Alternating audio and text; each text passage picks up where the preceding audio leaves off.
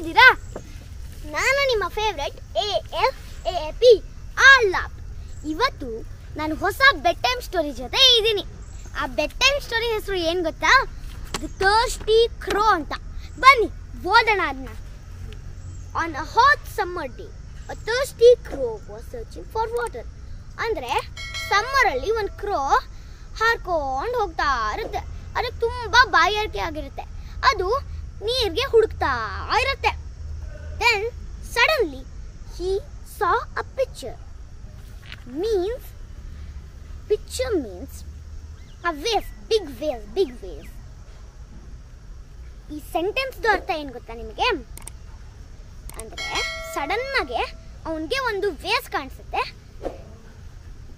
Hoping to find water he flew with delight ಅಂದರೆ ಅದರೊಳಗೆ ನೀರಿರುತ್ತೆ ಅಂದ್ಕೊಂಡು ಅದು ಫುಲ್ಲು ಹ್ಯಾಪಿಲಿ ನನ್ನ ತರ್ಸ್ಟಿ ಎಲ್ಲ ಹೊಟ್ಟೋಗುತ್ತಪ್ಪ ಅಂದ್ಕೊಂಡು ಹಾಡ್ಕೊಂಡು ಹೋಗುತ್ತೆ. ಡಿಲೈಟ್ ಅಂದರೆ ಹ್ಯಾಪಿ ಓಕೆನಾ but he noticed that picture had very little water and he could not reach it ಅಂದರೆ ಆ ಪಿಕ್ಚರ್ ಒಳಗಡೆ ತುಂಬ ಕಡಿಮೆ ವಾಟರ್ ಇತ್ತು. ಸೊ ಅವ್ನು ರೀಚೇ ಮಾಡೋಕ್ಕಾಗಲಿಲ್ಲ. He tried everything he could not think of but all his affair failed ಅಂದರೆ ಅವನು ಎಲ್ಲದನ್ನು ಟ್ರೈ ಮಾಡ್ದ ಆದರೆ ಅವನ ಎಲ್ಲ ಎಫರ್ಟ್ಸು ಫೇಲ್ ಆಯಿತು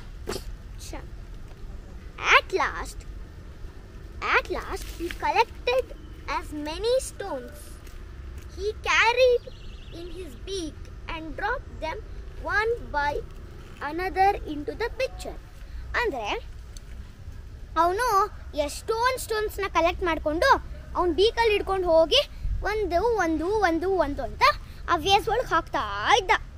Finally the water rose and with he reach and thus he saved his life moral ಗೊತ್ತಾಯ್ತಲ್ವ ನಿಮಗೆ?